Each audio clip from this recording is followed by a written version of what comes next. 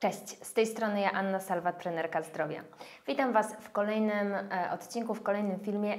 Dzisiaj bardzo ciekawy temat, e, czyli w, Pol w, Polsce chyba nowość, chociaż za granicą już od lat jest to stosowane, ciągły pomiar glukozy.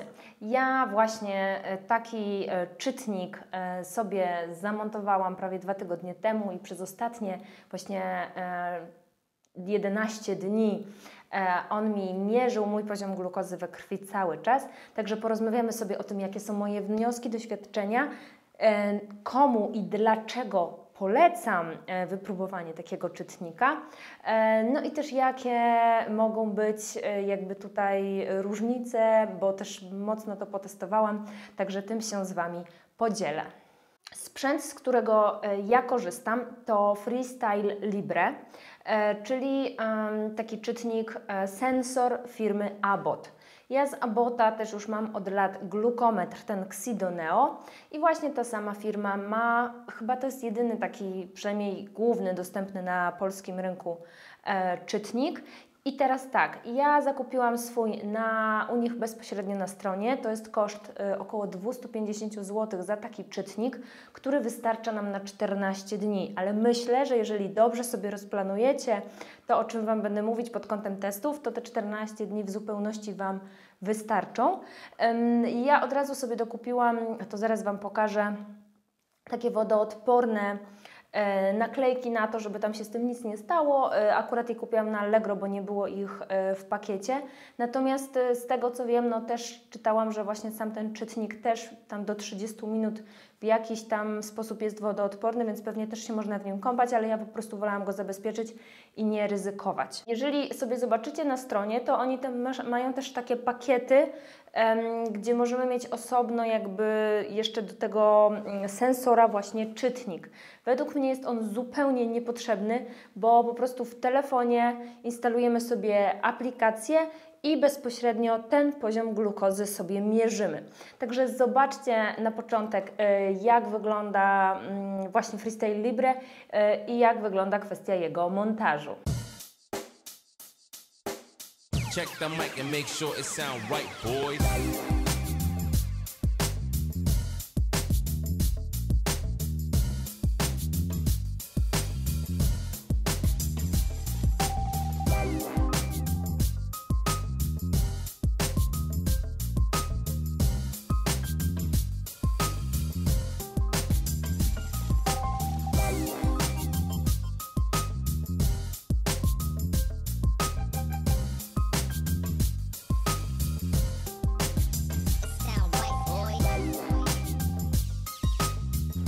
Igła. Jadę. Żartowałam.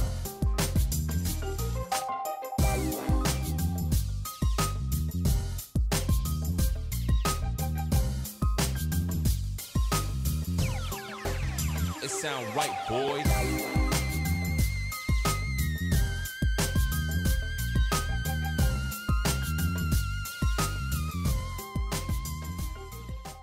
Tym, że boli, to żartowałam. Wcale tak bardzo nie boli. Tu jest co prawda taka igiełka, jak widzieliście na filmie, e, ale to tak już później nie boli. Tak się można przyzwyczaić, że już nie wiesz, że to masz, tylko się musisz pilnować, żeby mierzyć. Także luz, nie boli. Naprawdę, gorzej jest się kłuć co chwilę. Jeżeli już mamy taki czynnik zamontowany, to po prostu możemy sobie w telefonie mierzyć. On nam tak naprawdę dokonuje pomiarów 24 godziny na dobę, ale jeżeli chcemy zobaczyć te pomiary wstecz, no to musimy właśnie sobie wykonać, e, tutaj przyłożyć e, telefon z aplikacją i wtedy będziemy wiedzieć, jak to wygląda. Ja otwieram aplikację. Jeżeli mamy aplikację, to po prostu klikamy sprawdź stężenie glukozy i przykładamy mniej więcej sobie ten czytnik do sensora. Zazwyczaj działa.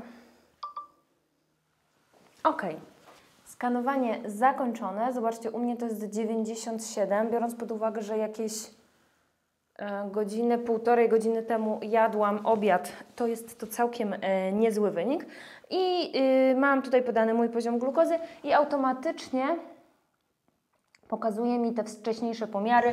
Można tutaj też sobie oczywiście w dzienniku e, sprawdzić, jak to wygląda. Mamy również tendencje dobowe, mm, e, jeżeli się wydarzą jakieś epizody hipoglikemii, także tutaj całkiem fajnie to wszystko wygląda. Możemy też sobie sprawdzić szacowaną wartość tej hemoglobiny glikowanej, czyli HbA1c. U mnie przez okres ostatnich 12 dni, no to, to szacuje się to na poziomie 4,9%. Ja zdecydowałam się na ten czytnik z takiego powodu, że będąc w ciąży, E, no, mam zalecenia, jak każda kobieta ciężarna, od lekarza prowadzącego, żeby zrobić sobie e, test obciążenia glukozą, czyli tą krzywą cukrową. Natomiast e, mam nadzieję, że to wiecie, jeżeli jesteśmy na low carbie, jeżeli jesteśmy na keto, tego testu nie powinniśmy wykonywać. Po pierwsze, dlatego, że wręcz może on być dla nas niebezpieczny, jeżeli spożyjemy naraz taką ilość glukozy. A po drugie, te wyniki będą po prostu fałszywie negatywne i prawdopodobnie pokazałyby u mnie cukrzycę ciążową. No bo jeżeli ja na co dzień nie jem takich ilości glukozy, a tutaj wypiję tak skondensowaną, po prostu czystą glukozę, no to mój organizm nie poradzi sobie tak dobrze z tą glukozą, jak organizm osoby, która na co dzień po prostu je większość swojego zapotrzebowania energetycznego pokrywa jednak z węglowodanów. Dlatego no ja zaproponowałam mojej pani ginekolog, że po prostu zakupię sobie ten sprzęt e, i to zbadam. Sensory są polecane przede wszystkim dla diabetyków, dla cukrzyków i też dla kobiet właśnie w przypadku cukrzycy ciążowej, po to, żeby regulować ten poziom glikemii we krwi. Jeżeli mamy jakby diabetyk, wstrzykuje sobie insulinę, no to po prostu nie musi się ciągle kłuć i łatwiej jest mu to regulować yy, i dopasowywać do tego dawki yy, leku. Natomiast dlaczego polecam Wam yy, zastosowanie tego i uważam, że wręcz każdy jeżeli zależy nam na takich aspektach zdrowia i długowieczności, optymalizacji naszego e, stanu zdrowia i funkcjonowania, warto wiedzieć, co się w naszym organizmie dzieje. Przede wszystkim, patrząc pod kątem długowieczności, e, to jest już udowodnione naukowo, że osoby, które żyją najdłużej w zdrowiu, mają stosunkowo niskie i stabilne przede wszystkim poziomy glukozy we krwi, tak samo poziomy insuliny. E, I to rzeczywiście jest warunek długowieczności. Dlatego według mnie pod kątem biohackingu to jest świetna metoda, żeby sprawdzić, jak ten nasz, e, ta nasza glikemia w ciągu doby się zmienia i czy zmienia się bardzo. E, optymalnie byłoby, gdyby te skoki nie były duże. Na przykład patrząc pod kątem redukcji i odchudzania, o czym mowa jest w moim kursie Schudnij na Keto, który już niedługo będzie dostępny, jeżeli chcemy efektywnie i szybko chudnąć na keto, to badania pokazują, że nie powinniśmy mieć dwóch skoków powyżej 100 mg na decylitr glukozy w ciągu dnia. No i tego nie jesteśmy sobie w stanie sprawdzić ciągle kując się w palec, nawet jeżeli ciągle się kujemy, no to no ileż można się kłuć. Yy, a tutaj mamy po prostu ten sensor. I teraz dlaczego to jest istotne? Każdy z nas ma bardzo indywidualną, taką biochemiczną reakcję glikemiczną. Dla mnie zjedzenie banana może powodować skok glukozy na przykład do 180, na szczęście sprawdziłam, nie powoduje. Natomiast u kogoś innego może na przykład ten cukier po pół godzinie, po godzinie od zjedzenia banana być na poziomie 120. Jeżeli e, chcemy sprawdzić naszą po pierwsze tolerancję właśnie różnych produktów, również na keto, mm, no to właśnie taki monitoring pozwala nam to zweryfikować, jakie produkty sprawiają, że ten cukier idzie nam w górę, bo naprawdę dla każdej osoby mogą to być inne produkty. Druga rzecz, pozwala nam to też optymalizować nasz stan ketozy pod kątem ilości węglowodanów. Elastyczność metaboliczna, o której od dłuższego czasu Wam mówię, jest bardzo ważna i polega ona na tym, żeby z czasem zwiększać tą pulę węglowodanów, którą możemy spożyć. I teraz, jeżeli chcesz dokładnie wiedzieć, ile i jakich węglowodanów możesz zjeść, no to właśnie taki monitoring przez dwa tygodnie, kiedy testujesz różne produkty, testujesz różne y, proporcje makroskładników, to jest świetna opcja. Poza tym uczysz się też, co zrobić, aby ten Twój poziom glukozy był jak najbardziej stabilny w ciągu doby. Bo mówiąc pod kątem diet niskowęglowodanowych i keto, bo oczywiście przy diecie wysokowęglowodanowej te normy są jakby trochę wyższe, natomiast my dążymy do tego, żeby ta nasza glukoza na czczo była w okolicach 80 lub nawet może być niżej. U osób, które mają nawet poziom 60, zazwyczaj na keto on jest właśnie ta glukoza może być tak nisko i nie wpadamy w hipoglikemię. Natomiast po posiłkach fajnie jak ta glukoza nie skacze nam powyżej 20 punktów, 20 mg na decylitr. Czyli na przykład jeżeli mamy na czczo 80 i zjemy posiłek, mm, to po pół godziny do godziny, no to na przykład dochodzimy do 100 i wtedy byłoby super, jak tak zostanie. Może też ta reakcja być w ogóle jeszcze niższa, no bo jemy głównie na przykład posiłek, który nie ma dużo węglowodanów w sobie. I później znowu po dwóch godzinach fajnie jak ta glukoza znowu nam schodzi delikatnie w dół do tego naszego bazowego poziomu. Kolejna rzecz, którą ja u siebie zaobserwowałam, no bo u mnie te wyniki, nie ukrywam, teraz w ciąży są jednak wyższe, bo jem tych węglowodanów więcej. Poza tym no, następują też um, u kobiety w ciąży pewne procesy, które sprawiają, że um, możemy mieć wyższe te poziomy glukozy. I e, dlatego u mnie ta glukoza zazwyczaj, gdy się budzę od razu rano, jest w okolicach 80 paru, a później e, jakby idzie w górę. Nie jest to nisko, ale u mnie jest zupełnie inna sytuacja. Pod kątem, jeżeli jesteście zainteresowani pod kątem ciąży, e, to dajcie znać w komentarzach, ale to musiałabym zrobić na ten temat na pewno osobny film. I co ja zaobserwowałam u siebie na przykład, że u mnie jak się budzę rano, ta glukoza nie jest wysoko, ale ona, szczególnie jeżeli się nie wyśpię, a różnie to bywa z moim snem e, w ciąży, bo jednak te hormony nieraz mnie wybudzają, to jeżeli się, szczególnie jeżeli się nie wyśpię, to ta glukoza na czczo w przeciągu godziny idzie mi w górę nawet powyżej 90, co już mogłoby być wskazaniem do cukrzycy ciążowej, jeżeli bym jakby nie sprawdziła tego, że u mnie ten poziom rano jest zdecydowanie niższy. Jak pójdę do laboratorium i to sobie zbadam, jeszcze się dodatkowo zdenerwuję na przykład w kolejce, to on może skoczyć nawet do setki, tego dnia i to wcale nie znaczy o tym, że mam tą cukrzycę. I to samo, jeżeli Wy sobie badacie właśnie te poziomy w laboratorium. Natomiast um, u mnie nigdy ta, e, ten pomiar po posiłku nie podniósł się powyżej 140, a zazwyczaj oscyluje w okolicach właśnie, no tak jak teraz zmierzyłam, tak, w okolicach do 110, 120. Także u mnie naprawdę jest w ciąży ten poziom glikemii wyższy, ale jest dość stabilny. Także to są wszystkie rzeczy, które możemy sprawdzić. Dodatkowo zazwyczaj możecie zaobserwować, i to ja też zaobserwowałam, że jeżeli jesteśmy właśnie zmęczeni i niewyspani, e, to ten poziom glukozy następnego dnia mamy wyższy i tego samego dnia jakby również, jeżeli jesteśmy właśnie jacyś tacy senni i zmęczeni.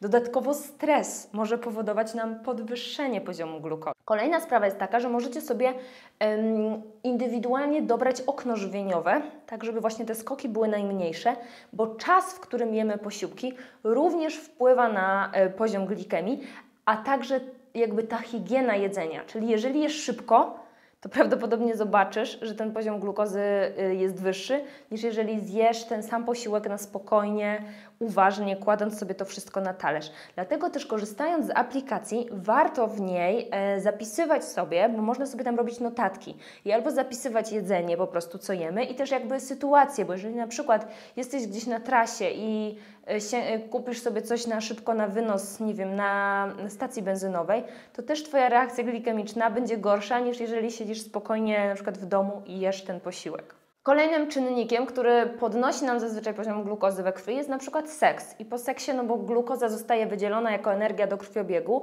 e, może też nastąpić glukoneogeneza, e, no ten, te poziomy glukozy są wyższe. I to, w czym jeszcze na przykład może Wam pomóc taki sensor, e, który mierzy Wam e, również poziom glikemii w nocy, bo inaczej nie jesteście w stanie tego sprawdzić, to jeżeli na przykład wybudzacie się w nocy, może przyczyną tego być to, że wpadacie w hipoglikemię. To nie zdarza się często. Y, ja raz miałam e, glukozę w nocy właśnie, no, co już pokazuje hipoglikemię, natomiast no, przy niskowęglowodanowym żywieniu też to są inne wartości, ale spadło mi po prostu do y, chyba 68 i to już mi wtedy pokazało hipoglikemię. Natomiast jeżeli spadnie Wam poniżej 60, nawet jak jesteście na keto, to być może właśnie ten niski poziom glukozy w nocy wybudza Was wtedy. E, no i o tym dowiecie się tylko stosując ten sensor, więc jak macie takie problemy, można sobie to optymalizować i wtedy na przykład zwiększyć ilość węglowodanów jednak wieczorem, da się je na tą y, drugą połowę dnia, czy na ten ostatni posiłek, tak żeby po prostu sobie tą glikemię wyrównać. Mm, także tutaj naprawdę zastosowań jest bardzo wiele. Jeżeli na czczo, na keto masz właśnie wyższe poziomy glukozy, to może to być też związane z tym zjawiskiem, o którym mówię z jednym, w jednym z filmów, to też na górze odsyłam Cię do tego filmu, E, adaptive glucose sparing, czyli takie dopasowywanie się glukozy dopiero w czasie. I może to być też na przykład związane z efektem brzasku i z tym, że czasami jak jesteśmy na keto, e, to te poziomy glukozy rano nawet są wyższe, dlatego warto właśnie widzieć, jak później to się stabilizuje i też w takim wypadku właśnie tutaj mamy możliwość e, sprawdzenia tej hemoglobiny glikowanej, czyli tej takiej średniej. I dzięki temu, jeżeli zobaczymy, że ta właśnie to, ten wynik HbA1c e, jest niższy tak naprawdę niż ta glikemia na czczo, no to prawdopodobnie znaczy, że wszystko jest ok. Ja właśnie to u siebie zaobserwowałam, że jeżeli się nie wyśpię, to mam wyższe poziomy glukozy. Jeżeli jestem zmęczona, jeżeli mam mało aktywności fizycznej, to też mam wyższe te poziomy glukozy w ciągu dnia. Ale to, co jest fajne, to właśnie yy, zaobserwowałam, że po takich posiłkach bardziej nawet węglowodanowych. I tak ta glukoza zazwyczaj skacze mi może do 120, więc jakby nie mam bardzo dużych skoków. I ta moja elastyczność metaboliczna, którą sobie wypracowałam na keto i będąc teraz w ciąży, jakby kontynuuję jednak głównie żywienie niskowęglowodanowe, no to sprawia, że właśnie ja mam te stabilne poziomy cukru, także ja na pewno tutaj e, nie będę po prostu pędzić do diabetologa i e, stwierdzać cukrzycy ciążowej, tylko dlatego, że na przykład kilka razy rano rzeczywiście ten cukier mam powyżej 92. I teraz kilka rzeczy i moich uwag dotyczących jakby korzystania z tego glukometru. Ja na początku sprawdzałam sobie też, zresztą do tej pory to robię nieraz, poziom glukozy właśnie glukometrem tej samej firmy, czyli po prostu krew z palca. I zazwyczaj to, co zaobserwowałam, to ten sensor daje mi trochę wyższe poziomy tej glukozy niż krew z palca. E, dwa albo trzy razy te rozbieżności były spore, bo rzeczywiście miałam ponad 110 na czczo i od razu sprawdziłam sobie po prostu e, krew z palca i wychodziło mi 70 chyba 6, więc tutaj była bardzo duża różnica. I zadzwoniłam e, na infolinię. Dostałam taką informację, która myślę jest istotna. Jeżeli w ogóle z, z, okazałoby się, że macie takie duże rozbieżności, to należy przez 24 godziny e, dokonać trzech pomiarów, zarówno sensorem, jak i glukometrem, i na tej podstawie macie prawo do reklamacji. Ja zauważyłam i nie dokonywałam reklamacji, bo rzeczywiście teraz zazwyczaj już nie mam takich różnic e, i to były takie pojedyncze rzeczy, ale te mm, jakby odmienne wyniki mogą się od siebie różnić z dwóch tych urządzeń o 15%. I to jest jakby jeszcze granica normy. U mnie widzę, że po prostu ta glukoza, którą mierzę sobie z palca, jest trochę niżej niż e, ta, którą pokazuje mi sensor. To, co też powiedziała mi pani na infolinii, bo ja akurat mam na lewym ramieniu ten sensor i śpię też w ciąży na lewym ramieniu, powiedziała, że jeżeli gdzieś tam on jest uciskany na przykład przez noc, no to mogą też te wyniki być zaburzone, więc to też możecie wziąć pod uwagę. Ja pewnie następnym razem, jakbym mierzyła, to bym sobie zamontowała go na prawej ręce. No ale wcześniej tego nie wiedziałam. I jeszcze jedna istotna rzecz. Mamy lekkie opóźnienie y, pochodzące jakby, jeżeli chodzi o informacje z sensora. Dlatego jeżeli chcemy mieć y, pomiar w dokładnie tym samym czasie glukozy zarówno z palca, z krwi, jak i tutaj z tego sensora z ramienia, to najpierw mierzysz sobie poziom glukozy z palca, i po 5 do 10 minutach z sensora właśnie takie jest opóźnienie, jeżeli chodzi o wynik w, w, aplikacji. Także to też myślę jest ciekawe.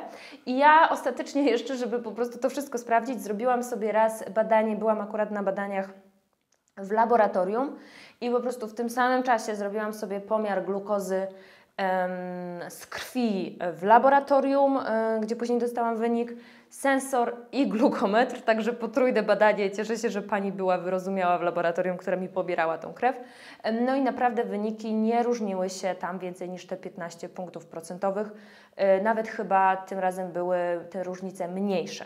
Ja na pewno e, powtórzę sobie takie badanie, jak już nie będę w ciąży, bo wiadomo, że teraz te wyniki są dla mnie inne i mówią mi też co innego o moim organizmie i o moim żywieniu. E, Polecam Wam to zarówno w ciąży, jak i poza, jeżeli jesteście po prostu na żywieniu ketogenicznym, bo myślę, że naprawdę fajnie możemy sobie tutaj e, zoptymalizować pod kątem naszego zdrowia, pod kątem długowieczności i wyrównania właśnie tej glikemii nasze żywienie. I może się okazać, że całkiem mm, dobrze tolerujesz na przykład większej ilości węglowodanów, ale z drugiej strony może to, może to też pokazać, że niektóre produkty Ci zupełnie nie służą, a na przykład jesz je często i warto tutaj dokonać tych modyfikacji.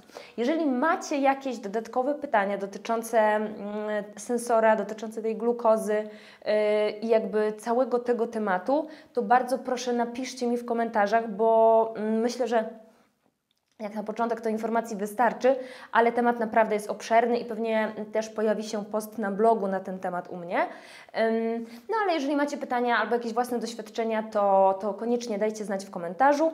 Ja e, zapraszam Was jak zwykle do subskrybowania kanału i naciśnięcia dzwoneczka, bo dzięki temu e, dostajecie powiadomienia o nowych e, treściach, nowych filmach i pomagacie też mi w docieraniu do większej ilości osób. No a ja dzięki temu mogę kręcić jeszcze więcej więcej materiałów tutaj na YouTubie dla Was i rozwijać ten kanał. Tak, zajrzyjcie też do opisu filmu, bo tam jak zwykle możecie pobrać moje bezpłatne materiały. Są też informacje o e, różnego rodzaju promocjach, w zależności od tego, kiedy film oglądacie. A ja pozdrawiam Was ciepło i do zobaczenia w kolejnych filmach. Cześć!